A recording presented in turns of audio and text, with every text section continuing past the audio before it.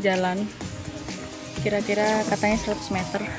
Terus kita bakalan uh, di depan situ udah ada kayak apa ya tempat registrasinya. Tadi kan udah booking terus kita registrasi dulu mungkin. Oke langsung aja kita masuk. Oke jadi itu kayak tempat registrasinya. Kita kan tadi booking terus kita nanti bakalan bayar uh, tiket masuknya di sini. Maybe aku nggak tahu sih langsung aja kita coba ke sana yuk. Oke di situ ada tulisannya uh, food drink terus lajur kiri untuk spot foto terus itu ada shuttle car. Kita bakalan turun. Kayak gitu pemandangannya. Jadi yang sana itu kayaknya belum selesai jadi yang selesai itu baru yang sebelah sini. Dan ini pemandangannya di sekeliling itu kayak gini.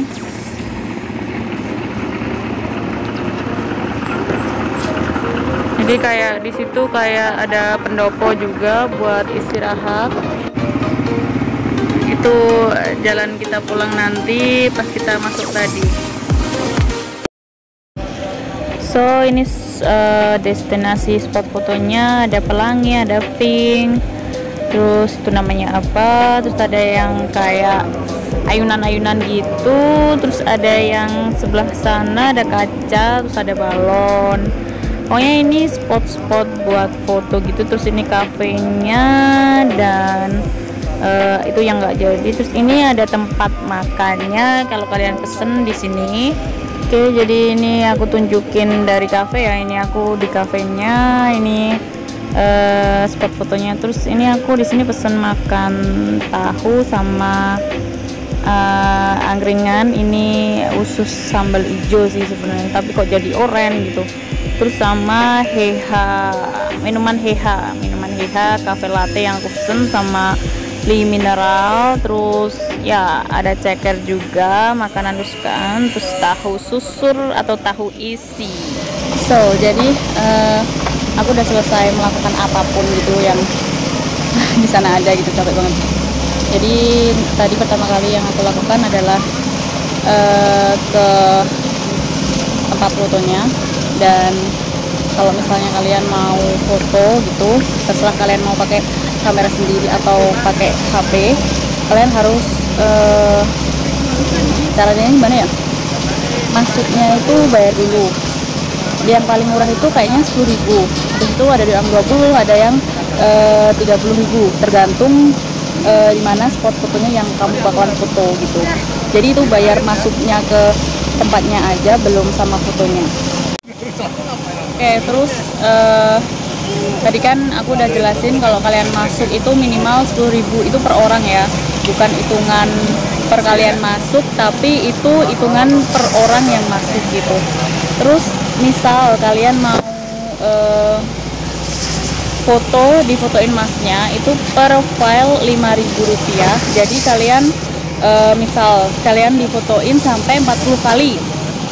40 kali terus nanti kalian bakalan milih uh, di mana file-file itu yang kalian suka. Misal kalian suka 10 foto.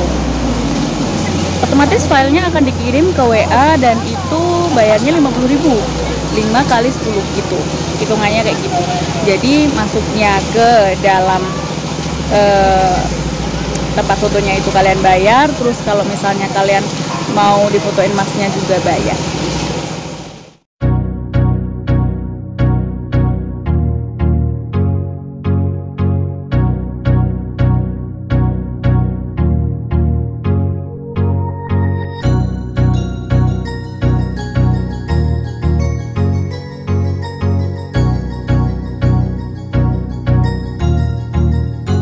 Oke jadi ini pemandangan pas jam berapa sekarang? 6 jam 6 gitu dan eh, lampu-lampu udah dihidupin. Ini yang tadi nggak jadi ya kayak gini. Bagus sebenarnya kalau udah malam. Banyak lampu-lampunya gitu dan ada tempat duduknya. Jadi aku lagi duduk santai gini di kayak gitu kayak tempat duduk bersandar apalah namanya gitu. So jadi di sini aku menikmati indahnya uh, langit menjelang malam. So jadi tadi perjalanan dari parkiran ke sini itu ada lima menitan mungkin kalau jalan kaki. Tapi ada busnya bus kecil. Kalau minibus kalau kalian mau pakai ini kayak travel gitu loh. Travel buat antar jemput itu ada kalau misalnya kalian nggak mau capek-capek gitu. Soalnya jarak dari parkiran ke tempatnya itu agak sebenarnya nggak jauh cuman harus mengitari bukit. Jadi kita naikin bukit gitu loh bukit kecil gitu. Sebenarnya nggak jauh sih kalau ditempuh garis gitu cuman kita harus menaikin bukit gitu tadi aku belum cerita tentang makanan di sini. Jadi di sini tuh nggak boleh bawa makanan dari luar minuman dari luar. Um, but di sini tuh kayak kita tuh bener-bener harus memanfaatkan apa yang di sini gitu. Misal di sini tuh kayak di sini tersedia kayak hmm, tempat makan sih. Ada tempat makan kayak angkringan terus chicken juga ada. Terus tempat minum sendiri kayak minum-minuman franchise kayak gitu. Tapi yang mereknya Heha tapi di sini itu kalau misalnya kalian mau ke sini aku mau kasih tahu kalian harus sedia uang lebih buat makannya karena harga di sini misal di angkringan yang aku tadi beli angkringan itu kalau nasi bisa 2000 tapi kalau di sini tuh bisa sampai eh, 6000 sampai 7000 rupiah.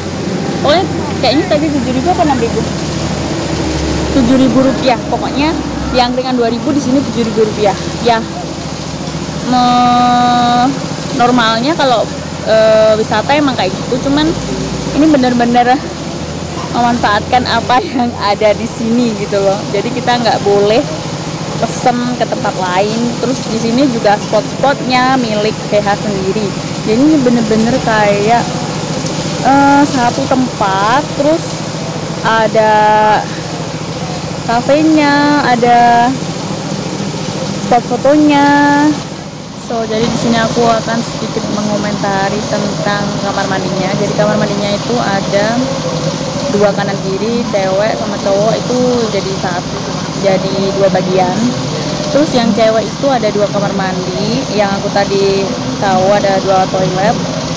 Mungkin yang cowok juga dua toilet, jadi kita simpulkan empat lah. Empat yang ada di dekat cafe, tapi nggak tahu yang lainnya. Cuman kalau misalnya cuman kamar mandinya ini doang bener-bener ini terus nggak ada lainnya cuman empat terus untuk kapasitas pengunjung segini menurutku nggak worth it karena hitungan per orang sebenarnya. Kalau misalnya kalian eh, sorry misalnya akan ada pelaku usaha lain harusnya membuat kamar mandi kan wajib ya penting gitu. Jadi itu harusnya membuat lebih banyak sih sebenarnya.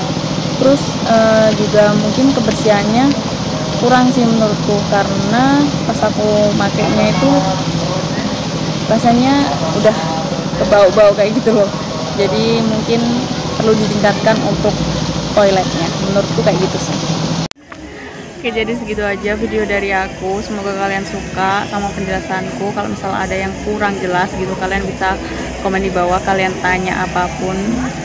Dan ini aku keenakan banget. Aku dari aku dari sore di sini tiduran di tempat kayak ya ya hitung-hitung rest area. Soalnya kita kan turun toh tadi terus naik lagi gitu naik bukitnya. Jadi agak capek. Terus um, kalau misalnya kalian pengen aku datangin tempat mana lagi kalian bisa komen juga di bawah. Aku bakalan bacain satu-satu komenan kalian. Oke jadi segitu aja. Nggak perlu panjang lebar dan aku abis ini aku bakalan pulang.